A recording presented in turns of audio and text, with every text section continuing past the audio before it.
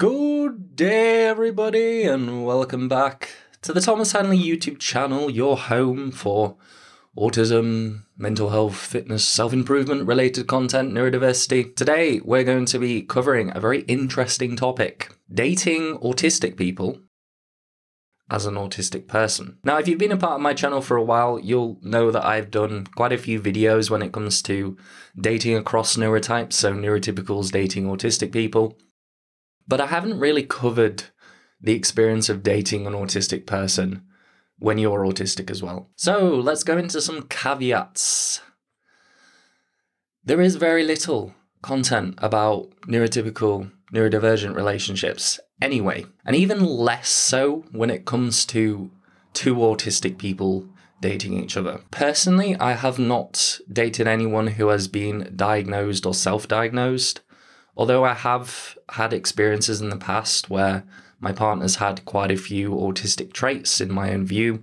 It's not something that they wanted to delve into, but it was something that I um, saw a lot. Each autistic person has their own profile, their own attachment style, personality traits, preferences, and much, much more, of course. And each person may be at varying stages in their autism journey.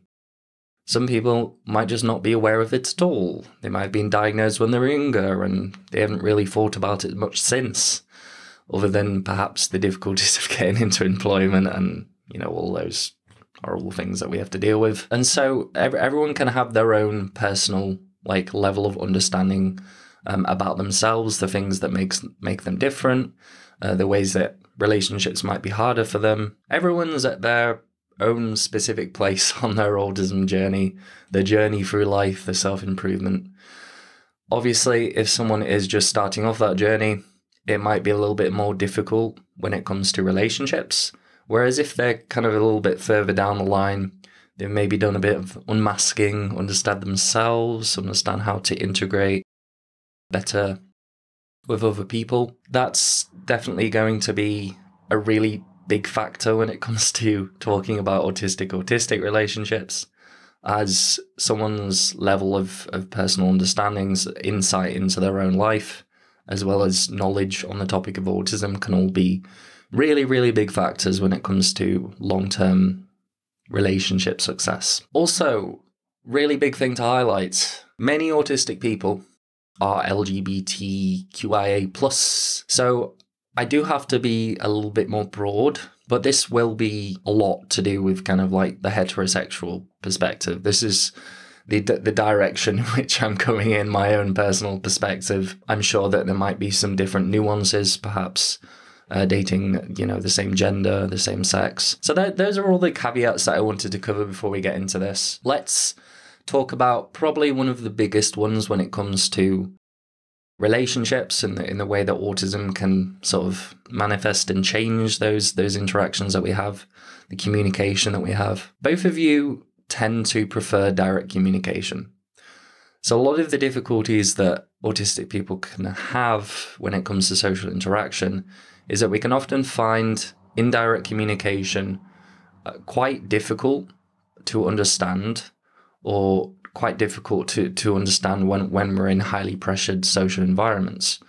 So things like facial expressions, tonality, um, body language, all those types of things have very large impacts in the world of dating in general.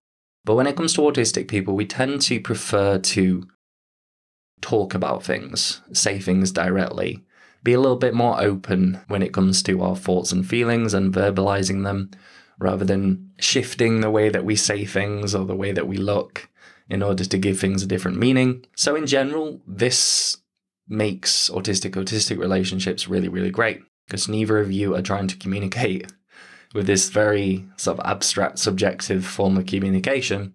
You're both being direct, which is good. It's what we like. This also means that there are a lot of verbal affirmations involved, hopefully.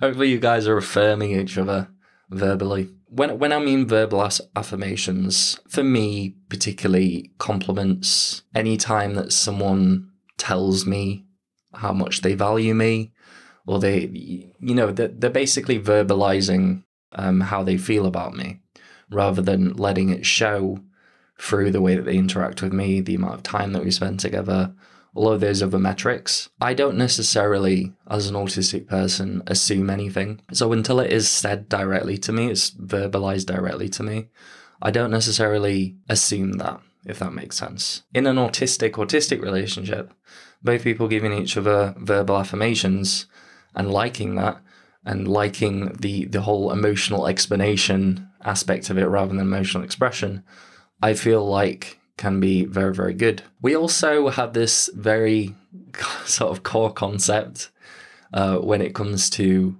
autistic interactions. You might have heard of it before. These are monologues where you, you get an autistic person going. It might be a little bit hard at the start to kind of keep the conversation flowing, but once they're on a roll with it, you, you mention something about their special interests that they really want to talk about or you, you mention something that they can they can talk about. They might go on for two, three, four, five minutes speaking about something, which actually in in most relationships it is not really well understood and perhaps it might just be ignored or at least the person may find it difficult to concentrate on what what you're saying especially if it's not something that they're interested in but in autistic autistic relationships i find that just in general talking to friends, um, talking to anyone autistic, really, it tends to be that we take turns when it comes to speaking. So, with my experience with talking to neurotypicals, it tends to be kind of a, a very quick sort of back and forth kind of discussion that, that sort of it's like a game of table tennis. Whereas talking to an autistic person, it's more like you know, like you play those games in primary school and secondary school, you get you get the talking ball. You know, someone passes you the the talking ball, and while you've got the talking ball, no one else is allowed to speak, but you are. You have the power. It's kind of like that. It's kind of like you just pass the ball to each other after two or three minutes of talking. And I find that quite relaxing. I find it quite easy. I can sit back and listen when I need to, and I can talk for as much as I like uh, when it's my turn to speak. So that might be something that, that's quite good as well. Another really good thing. As I said, the lack of indirect communication can make things a lot more chill. You're not trying to constantly monitor the, the other person to try and figure out what they're feeling, how they're trying to say something. It's it's all a little bit more straightforward. But big big but. This does not mean that the person is honest and that the person addressing those those problems that they may have with a, with a relationship will happen. It might just not happen at all. Um, it might even bleed out into indirect communication, as it does for pretty much anyone. If you're not feel if you're feeling quite angry, irritable, upset, um, it doesn't matter if you're autistic or not.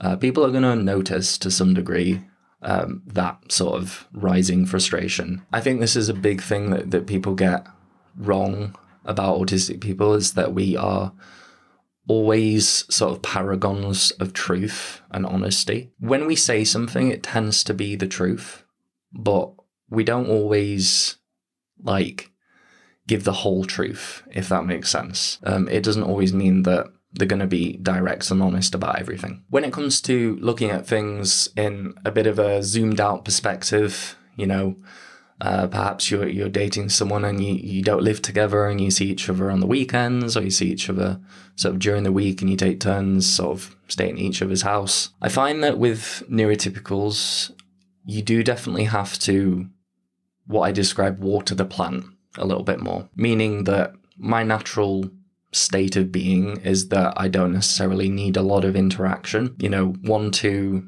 three days of, you know, in person interaction is enough, but also when it comes to texting as well. I find that my friendships and relationships with autistic people, they tend to be a little bit more as and when, meaning that I don't necessarily have to continue sort of checking in with them every couple of days to to make sure that they're still my friend. And you know, make them feel like I want to talk to them and sort of watering that that kind of friendship plant. With autistic people, it just it just doesn't tend to be as much of that. We don't necessarily need that constant attention, uh, those constant kind of check-ins and things like that, which is cool, and some people do. For me, in particular, I feel like that takes away some of the stress of communicating like throughout a relationship, throughout a dating situation. You don't really need to water the plant. You can just meet up when you're both free. You can just talk when you're both free. There's no necessary kind of interaction that you, you definitely need to have with each other. In the same vein, both of you understand the need for space.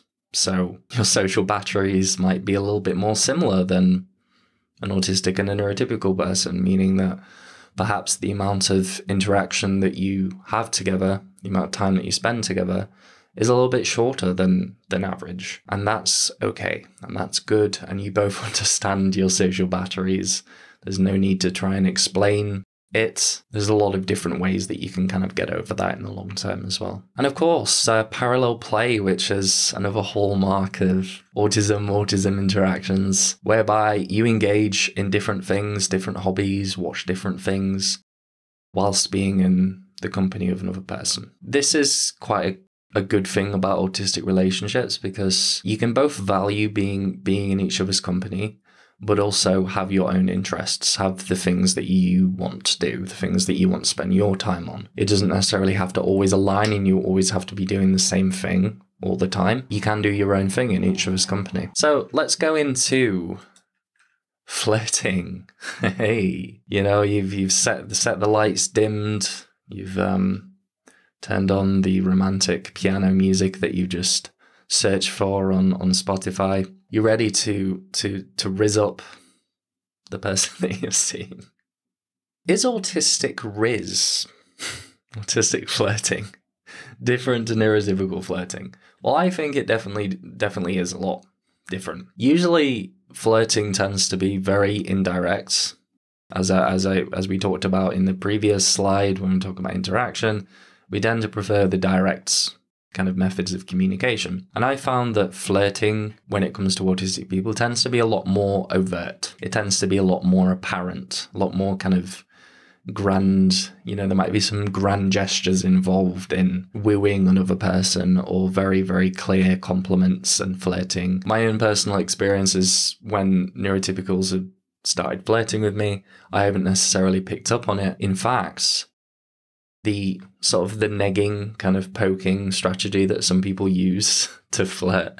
Um, I just take it as the other person just not liking me, um, as not, uh, uh, you know. Sometimes I might I might take it even as an insult and be like, why why are you talking to me like this? And I don't, I don't find that that tends to happen as much with autistic people just because we like to be clear and we like to be direct, using that kind of witty, banterish, flirty sarcasm to poke fun at somebody can go wrong sometimes with autistic people. I don't feel like we do it as much as neurotypicals might. Eye contact is a big one for neurotypicals. And the thing is, it does impact attraction in autistic people. It may not be as needed, meaning that I've found that no matter someone's neurotype, making eye contact with them, especially sort of in a romantic setting, is preferred. But I suppose with autistic people, it tends to be a lot a lot less intense. Like the, there tends to be a lot of breaks between eye contact that you have with somebody.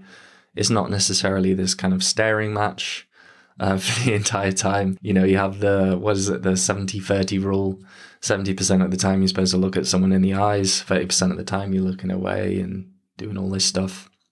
I'd say you could probably knock it down to about 50-50 or even even lower to be honest for autistic people. But eye contact still is like a a really big driver of attraction um, for for anybody, for most people. It can be uh, an area of difficulty for a lot of autistic people. This this flirting. This is inherently because it's a lot more indirect based, but also because a lot of the advice that we get, a lot of the dating, flirting, relationship advice that we get is not necessarily geared towards autistic people. We do tend to experience a lot of social anxiety. We just, on average, have worse experiences with people. And so when it comes to social interaction, especially when it's very high pressure, if it's like a your first date in a while, or your first kind of relationship, which I imagine would be quite common um, for a lot of autistic people, it can be difficult. um, to to know what to do, to know how to flirt. I find most of the time, not all the time, that I have seen autistic people, it tends to be um, a little bit less convoluted, a little bit kind of more direct, and it's not always like the most fiery, intense kind of passionate conversation. Sort of, it's very much like a conversation that I would have with with anybody else, um, just perhaps with a few sort of compliments and things sort of mixed in in the pot. And the last thing, being direct can take some of the excitement out of the process. For a lot of people, the exciting thing about dating someone new, being in a relationship with someone new, is that there is a lot of grey areas. There's a lot of mystery. There's a lot of, ooh, do they like me this much? Or do I like them more than they like me? And you know, how do we interplay and get all these dynamics sorted out? There's a lot of excitement in that and a lot of passion, and some people might describe that as being like a spark. Although it is good to to have that kind of excitement to it and that mystery. Uh, being direct as well with someone else who really enjoys direct communication is probably the most ideal way of going about it. Doesn't necessarily always lead to those feelings of sparks and just instant kind of infatuation with each other, but it's definitely a good way to get to know somebody. And it'll definitely be a lot more kind of calm, perhaps a little bit less complicated, a bit more simple. Um, to just meet someone, see if you get on, and just talk to them for a while, and then, you know, perhaps go out and do something else. So, we've talked about flirting, we've talked a little bit about interaction. What about mutual support? What do I mean by mutual support? Supporting each other. Mutually, of course. Mutual understanding and a team mindset is very important to pretty much every relationship that you can think of. Doesn't matter what neurotype they are. When it comes to autistic autistic relationships, both of you sort of relate to each other's of his experiences, difficulties, needs, um, a, a, lot more of a deeper level than perhaps it would be if you were dating a neurotypical person. Things like the logistics of going out on a date, if you can imagine. Perhaps both of you are very hypersensitive to noise and don't particularly like being in busy places. That can be a great thing because both of you want to go somewhere which is a bit calmer. You can also, when you're out on a date and it you know, perhaps you've you've noticed yourself that uh, the lights are a little bit too bright, or the the music's too loud, or there's starting to become a lot more people, and it's difficult to sort of concentrate on the conversation, and the anxiety is rising. You can also somewhat relate to each other in that in that circumstance as well. So you might um, be a little bit more forthcoming in saying like, "Oh, it's it's actually a bit too busy. Are you okay?" You know, checking in with each other, which can be a really really nice thing um, to have in a relationship. It's not something that autistic people like necessarily always can do. And I think a lot of neurotypicals can can as well. It just tends to be a little bit more heightened for us and the the impact that it has on our nervous system is a lot more apparent to us and we can relate to that to that other person a lot better, which is always good. It's always good. You can support each other at social events. Yes, those things seem to take up the large a large amount of our energy supplies. It's not something that a lot of us can do every weekend. You know, go out and party or meet friends and go in a group of people and, and talk and converse. It's not something that I personally can manage on a weekly basis, but it is something that I like now and again. One of the great things about being in an autistic autistic relationship is that you both understand the the difficulties of of these social events. So you can better plan. You can plan breaks. You can monitor each other and make sure both of you are okay. You can advocate for each other if if needed. You can also help each other sort of communicate um, if one of you is a little bit more introverted than the other person, and more or less have this sense of un- mutual understanding about things that you perhaps might not get with neurotypicals, or at least to the same extent. Meltdown, shutdown support, of course, really, really big things. I think you can probably get this in any relationship, so long as the other person really understands what to do and also takes it seriously. Executive function is going to be our first negative for this slide. Executive dysfunction can often be difficult for autistic people. If you're with someone who's autistic, it's it's likely that they're also going to have some level of executive dysfunction, which can make organization, getting out the house on time, um, it can make staying hydrated, eating, uh, cleaning, sorting out all sorts of different life skills quite difficult. And when both of you find it quite difficult, um, things just tend not to get done. It takes a long time for them to get done, which can be an issue because you don't necessarily have this one person, this neurotypical person who can kind of go about and just do these things on the fly and it's just very natural to them. You both struggle with it. You both got to kind of have a bit of a team mindset and tackle them tackle the difficult things together. Transitions can also be difficult. I was always saying getting out of the house. If you're both kind of relaxed in bed in the morning, um, and you both struggle transitioning into your working day more than most people would, um, can make that a lot more difficult. Doing stuff after after work, you, you know, you might say to each other, "We should go to the gym." And both of you, you, you really don't want to go to the gym, both of you, but you, you know that it's going to be good for you. Might be a little more difficult to transition out of, you know, after work cuddles and snacks to going to the gym. Last thing that I put is advocating for each other. And this can take many, many different forms. It can be related to communication. You know, someone's kind of speaking over you and not giving you time to process and think. Perhaps someone's being a bit more confrontational. You can advocate for each other for things around sensory requirements. You know, perhaps if someone has ARFID and the food that you get from a restaurant isn't ideal for you, you can't eat it, um, then the other person can help advocate for you in that in that circumstance. It seems to be a lot easier for us to advocate for other people, especially since we understand we can understand the autistic experience so well just from our own personal experience. But actually advocating for yourself can can be very be very difficult at times. So having someone there to kind of you know push you to get your needs met, I think is a great thing. What about emotional connection? very important part of relationships, weirdly. Who would have thought? Emotions, feelings, uh, quite an integral part of, of relationships. You, are hammering this joke a little bit too far, Tom. Alexithymia is very, very common for autistic people. If you don't know what it is, it is a difficulty identifying, categorizing your own emotions.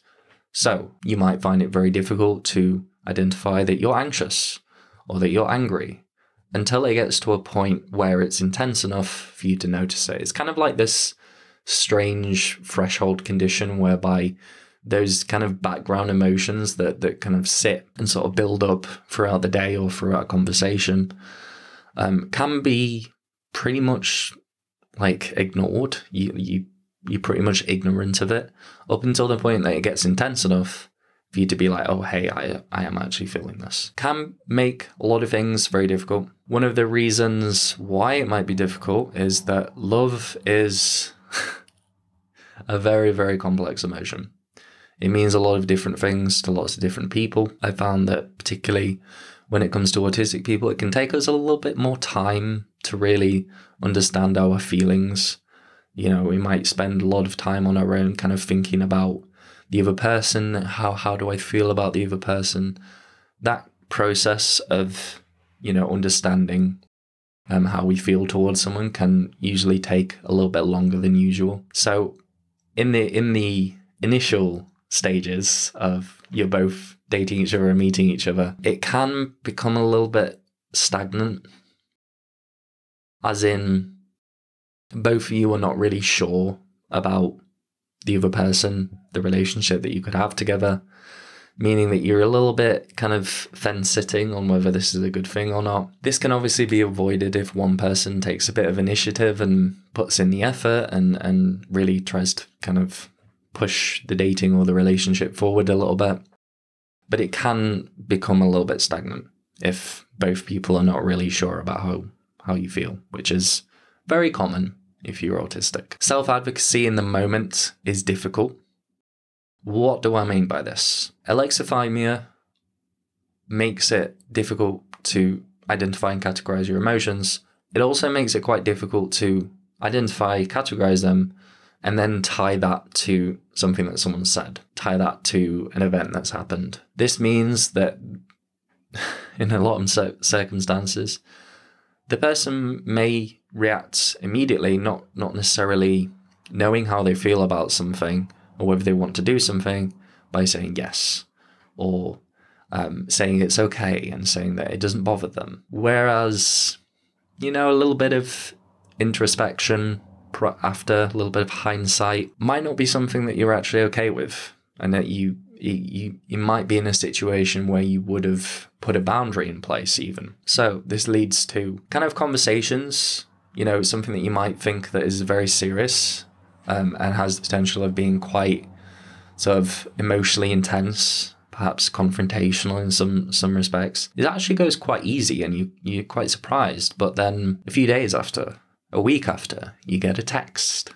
You get a long line of text um, explaining why this uh, their feelings, um, what they said to you, has changed, which can bring up old baggage, kind of over and over again as the as the person is processing what this means to them, how they feel about it. This can make uh, small hiccups, small misunderstandings, um, small kind of events, small things that someone's said into a lot more of a long process requiring space from both ends.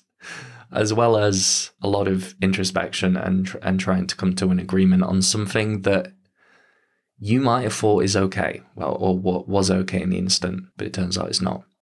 And that can happen from both sides because you're both autistic, you both likely are alexithymic too. So this can make the relationship a little bit rocky in some respects. Although this is sort of seen as a very neurotypical thing, a lot of autistic people, because we are humans, uh, we, we like to think that our partner has the capability to mind read.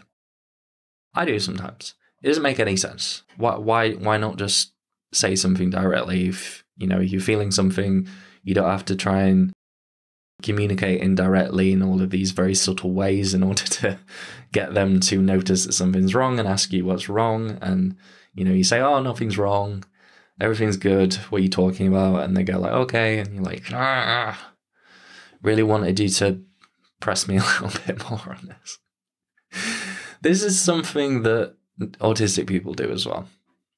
It is. It can actually be a lot harder for us because of the those difficulties with cognitive empathy. Cognitive empathy being the ability to understand, notice when someone is feeling a certain thing without them directly telling you. And so this whole attitude to relationships where you're both trying to get each other to read each other's minds can make things a lot more difficult it makes it difficult for any relationship. Doing all this indirect kind of, oh, you should know how I feel kind of stuff.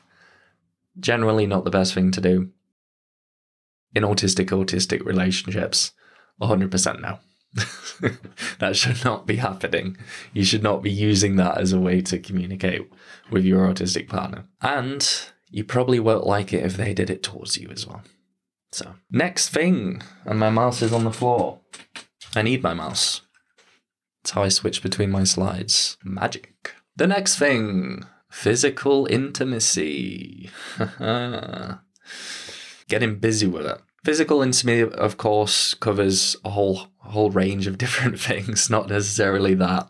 I know what you're thinking. One thing that I've noticed just from talking to other autistic people is that, like, the libido that someone has can vary drastically from person to person. I know some people who are pretty much, well, I know some people who are asexual, uh, some people who just don't really like it very much at all and only do it very rarely. And then other people who just want it all the time. like constantly. They're always like itching to get it, you know? So if you have a mismatch when it comes to libido, obviously that is going to be a, a really big hurdle in the relationship. One person's going to not feel like their needs are being met. One person's going to feel like they're overstretching a little bit into something that they don't necessarily want, can make things a little bit more difficult. Initiation can also be difficult to gauge unless directly communicated. And this is what I was saying before about being honest and, and direct. It may not even be that you, you know, you, you may not use that in direct communication, but you may not use the direct communication either. And that can also be very, very difficult. So you imagine situation, two neurotypical people dating each other, a lot of indirect flirting, communication going on, a lot of eyes, a lot of eye contacts you know, uh, little little signs that someone might be a little bit more open to physical intimacy of, of any form. That's not necessarily easily gauged from from both ends for, for autistic people dating autistic people. Meaning that one person might not be able to gauge whether the other person is interested in them, and vice versa, leaving you both in a little bit of a limbo world. One person's not initiating, the other person isn't. You don't know if you both want to do something intimate or physical or not, unless you communicate it. So that can be a, a difficult difficulty. Sensory needs uh, from both sides can be difficult. Again, unless communicated about, meaning that certain acts, not necessarily just those acts, you know, things like cuddling, Frenchies, you know, any kind of sensory experience um, might not be the best for somebody. It might overstimulate them quite a bit. It might be quite painful. It might be quite uncomfortable as well. And so not every single person is like, okay, I get, you know, every everything is all golden and good often you have to have a conversation about, you know, the sensitivities that each of you have, some of the things that you're happy with doing, some of the things that you're not happy with doing. And it can vary a lot person to person. And it can also contrast as well between both of you. So there has been some some communication about it, some kind of reaching an agreement on things when it comes to physical intimacy, or else you'll leave both parties you know, one feeling resentment know, in not getting their physical needs met, the other person feeling pressured to meet that partner's physical needs. The overall idea with this slide is that yes, it can be a little bit more difficult, can be a little bit more nuanced. There might be some other things that you need to take into account, might be a little bit harder to initiate, but a lot of this stress goes away. It melts away when you start communicating about it.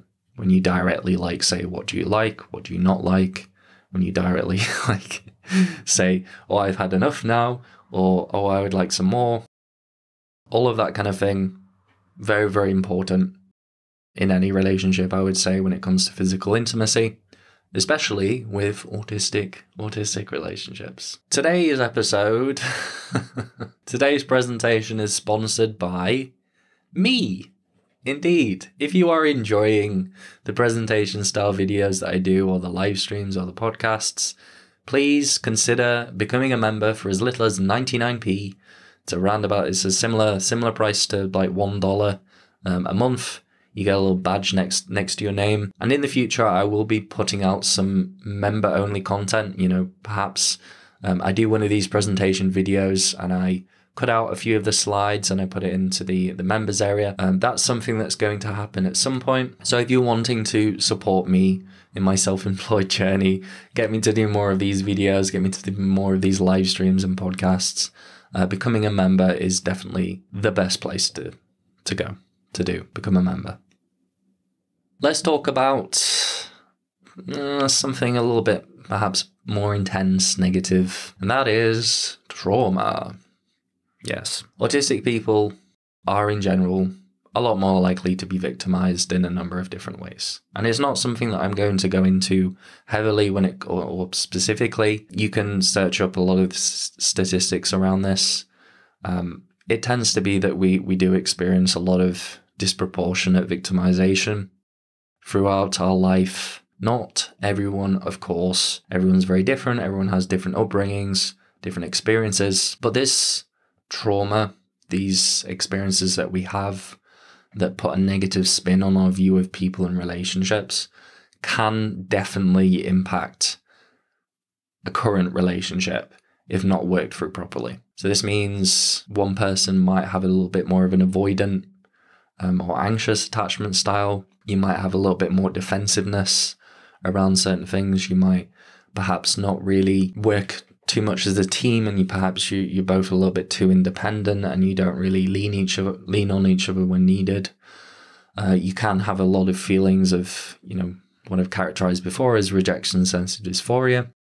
You can find the whole dating process, relationship process, uh, quite difficult, you know, filled with um, potentials to fail or be rejected uh, within that relationship. And it tends to be if, if there are two autistic people dating each other, there is a high likelihood that one of you is going to have experienced some negative things. And it is on yourself, uh, if you have experienced those negative things, to kind of work through them and uh, spot some unhealthy mechanisms that might be going on in the relationship uh, to make sure they don't manifest as much anymore. All of these things very, very important.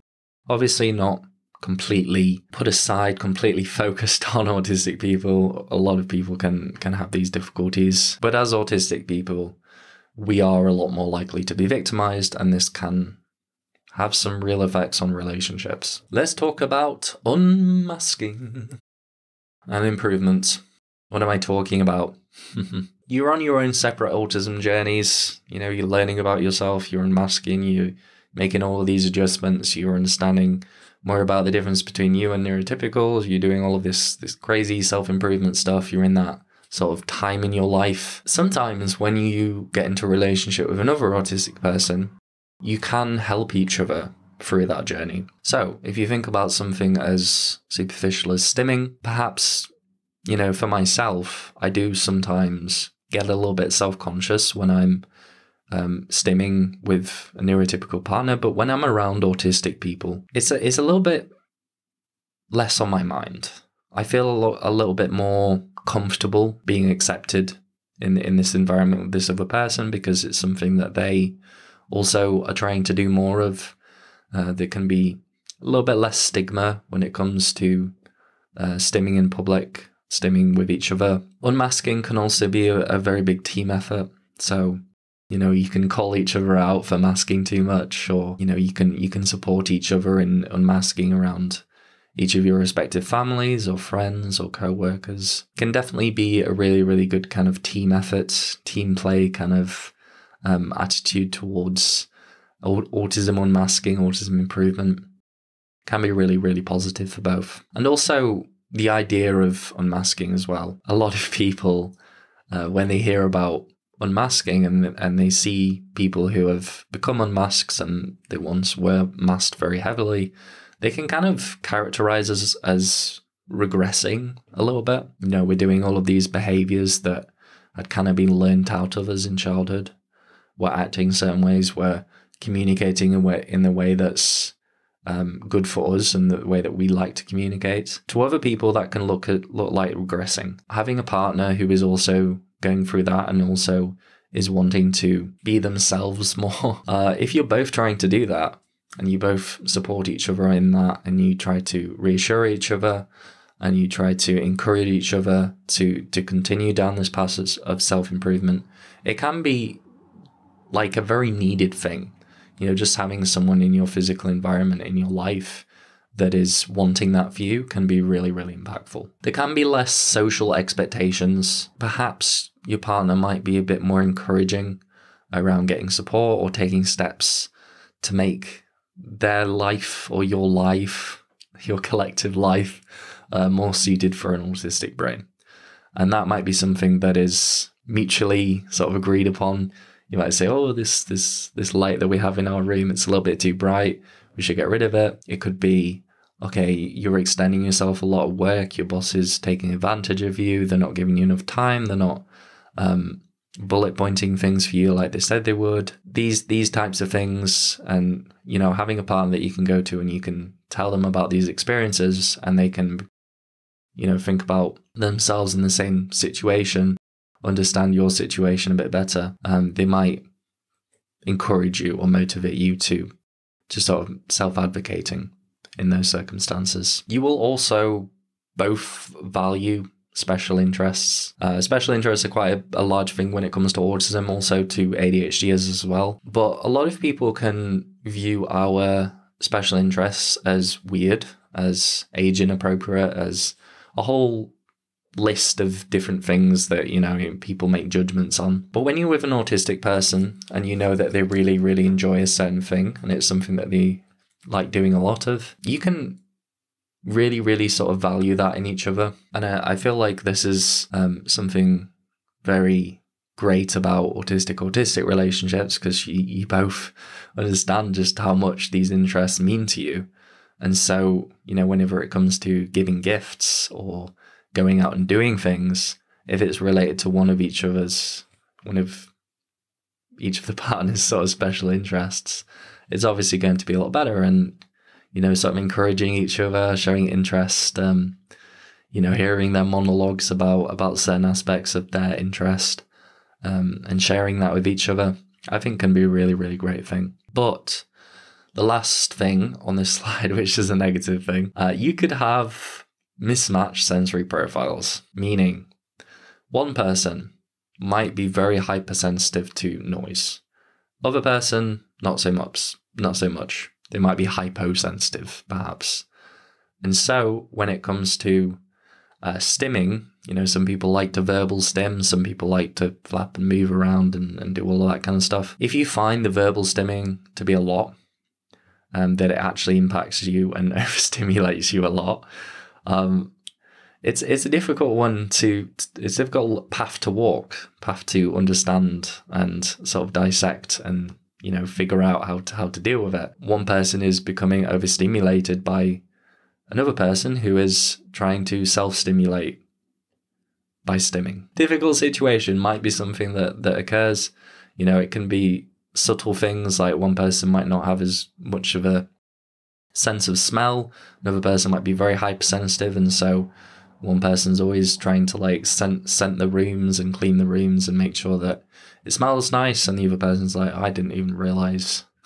um, so there there are there are those differences, I think, and it, it is important to be aware of those things too. And lastly, let's talk about relationship progression.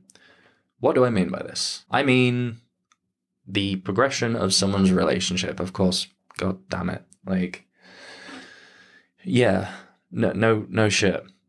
this is the way that your relationship progresses from the dating stage to being in a relationship to being in a long-term relationship to moving in with each other to having a, starting a family or doing whatever you guys have in mind um, most neurotypicals, in my experience, do have a very similar kind of life in mind, sort of path for relationship in mind. You know, you you go on dates, you get into a relationship, you move in together, you get like a pet or or something like that, and, and you have children if you both want to have them. Um, you get married. A lot of people have this very straightforward idea of what they want in terms of a relationship. With autistic people, we do tend to we do tend to uh, deviate a little bit from those social norms, meaning that there are less socially normative expectations to things. Because of the way that we are, we might be a lot more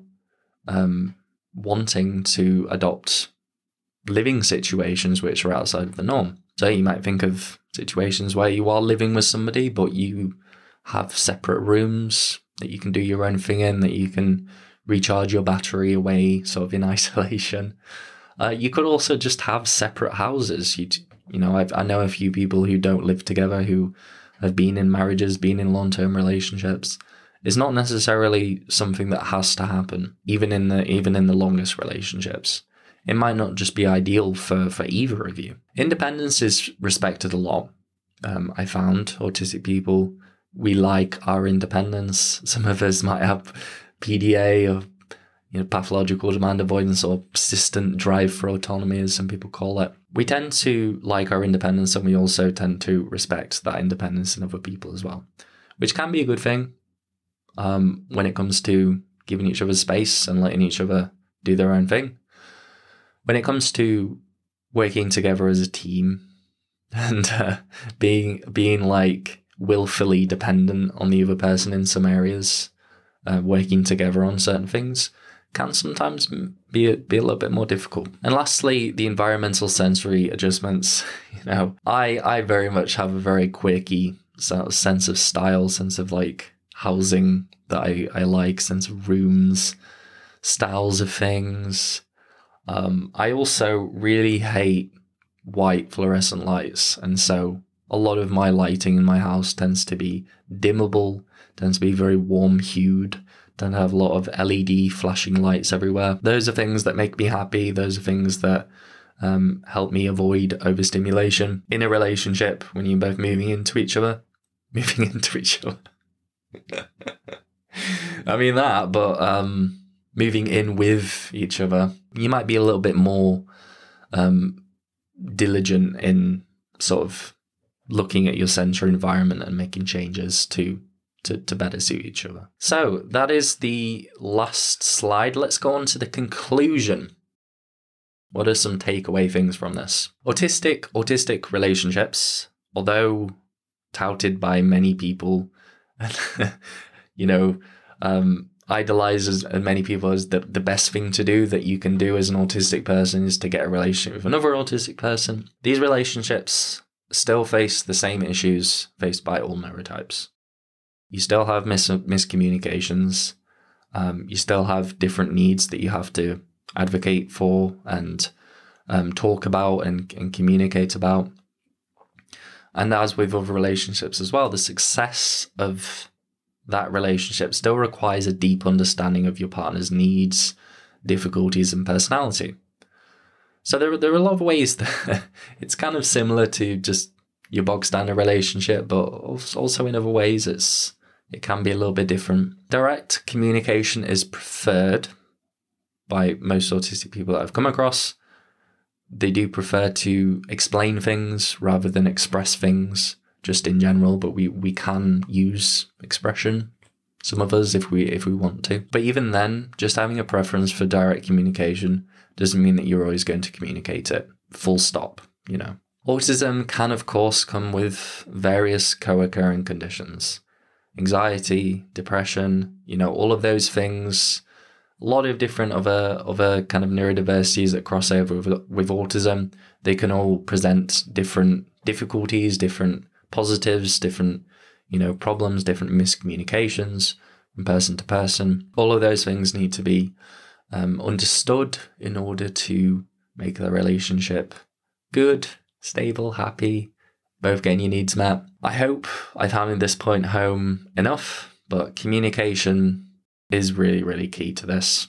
Even with direct communication, um, communicating about things is really, really important. I think a lot of autistic people who do find that they have quite a bit of social anxiety, bad experiences with people, we might be a little bit little bit less likely to sort of be open about that stuff for fear of confrontation.